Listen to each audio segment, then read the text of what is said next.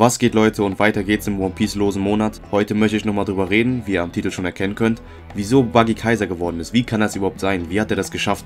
Natürlich wissen wir, dass er so ein kleiner Troll von Oda ist, aber er muss ja trotzdem intern in der One Piece Welt erklären, wie Buggy das geschafft hat. Also es muss ja irgendeine logische Erklärung geben, wie er dazu gekommen ist.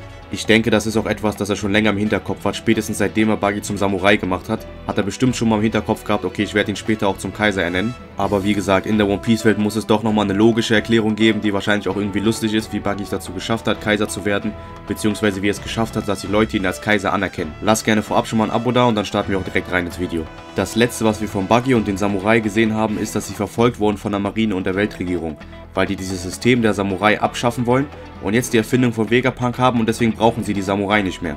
Also Buggy war quasi auf der Flucht. Ich denke, Oda hat sich da irgendwas Lustiges einfallen lassen, wie er da rausgekommen ist und wie er dann zufälligerweise irgendwie Kaiser geworden ist. Ein Gedanke, den ich habe und den ich mir sehr gut vorstellen könnte, ist, dass diese Erfindung von Vegapunk quasi Klone der sieben Samurai waren. Wir haben ja auch einmal diese eine Coverpage gehabt, wo wir jemanden gesehen haben, der so ähnlich aussah wie Doflamingo und das sah so ein bisschen aus wie Klone der sieben Samurai. Deswegen könnte ich mir das hier ganz gut vorstellen, dass quasi die sieben Samurai gegen die Erfindung von Vegapunk kämpfen mussten und vielleicht musste Buggy gegen sich selbst kämpfen. Und deswegen hat Buggy dann irgendwie den Kampf gewonnen weil sein Klon dann ja wahrscheinlich auch nicht so stark ist.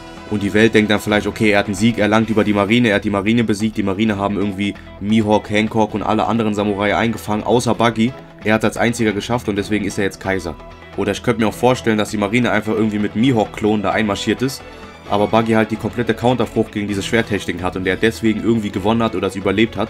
Und dann alle denken, okay, Buggy hat einen Sieg über die Marine erzielt, wie es damals auch Big News morgens gesagt hat, dass Ruffy einen Sieg über Big Mom erzielt hat, obwohl er quasi Katakuri besiegt hat, aber niemals Big Mom selbst und dann einfach nur abgehauen ist. So könnte ich mir das auch bei Buggy vorstellen, dass er nicht direkt gegen den Admiral oder so gewonnen hat, sondern einfach die Erfindung besiegt hat oder irgendwie ausgeschaltet hat und deswegen als Kaiser anerkannt wird, weil er einen riesigen Sieg über die Weltregierung erlangt hat oder was weiß ich. Zumindest könnte es irgendwie so in der Zeitung stehen und vielleicht erfahren wir das ja sogar im nächsten Kapitel. Ein Gedanken, den ich auch noch in der Community gehört habe, ist, dass sich die sieben Samurai quasi alle unter Buggy versammelt haben. Und Buggy als deren Anführer gilt und deswegen jetzt als Kaiser gesehen wird, weil er die ganzen Samurai unter sich versammelt hat. Finde ich auch sehr interessant, könnte ich mir eigentlich auch vorstellen, aber ich bezweifle es, dass Mihawk sich Buggy unterordnen würde. Ich denke, wenn Mihawk Probleme mit der Weltregierung, mit der Marine hätte, dann würde er eher zu Shanks gehen, anstatt zu einem Buggy. Natürlich kennt er vielleicht auch Buggy von früher, weil er natürlich auch Shanks kennt und die beiden sind gut befreundet oder waren mal auf Rogers Schiff zusammen. Aber ich denke eher, dass Mihawk dann zu einem Shanks gehen würde und bei ihm dann Schutz suchen würde, bevor er zu einem Buggy geht, weil er weiß ja eigentlich auch, wie stark Buggy ist, beziehungsweise wie schwach er ist.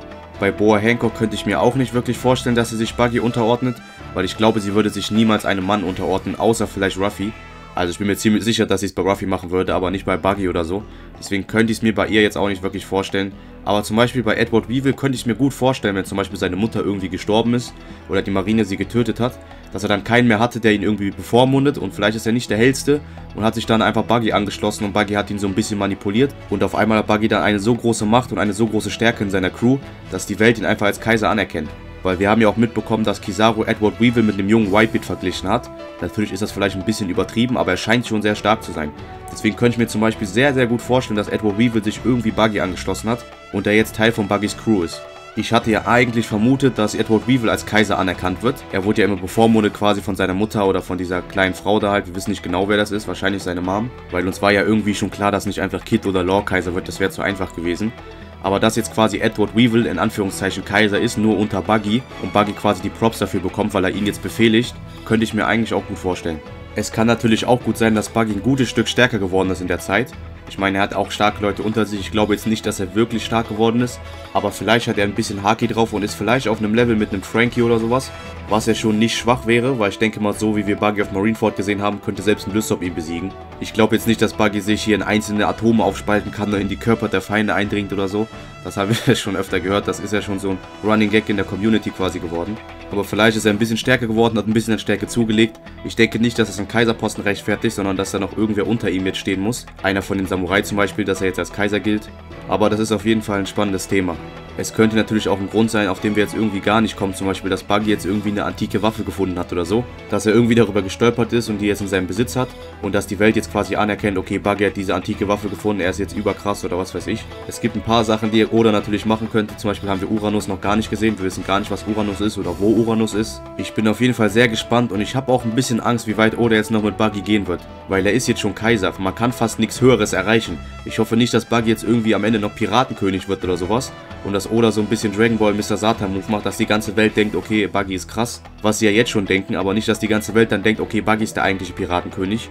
Ich könnte mir vorstellen, dass Oda noch so weit geht, dass er quasi Buggy mit auf die letzte Insel von One Piece nimmt und die Welt dann quasi denkt, okay, Buggy ist der Hauptrivale von Ruffy. Also dass Buggy quasi irgendwie der Endgegner von Ruffy ist und sie Ruffy und Buggy irgendwie darstellen wie Roger und Whitebeard. Das könnte ich mir noch sehr gut vorstellen, dass Oda das machen wird. Aber ich hoffe nicht Piratenkönig. Das soll einfach Ruffy werden und gut ist. Schreibt mir mal gerne in die Kommentare, was ihr dazu denkt. Vielleicht habt ihr ja noch eine bessere Idee, wie Buggy zum Kaiser geworden ist. Lasst mich auf jeden Fall wissen. Lasst gerne einen Daumen nach oben und ein Abo da, wenn euch das Ganze gefallen hat. Würde mich auf jeden Fall freuen. Danke fürs Zuschauen. Wir sehen uns dann beim nächsten Video. Haut rein. Ciao.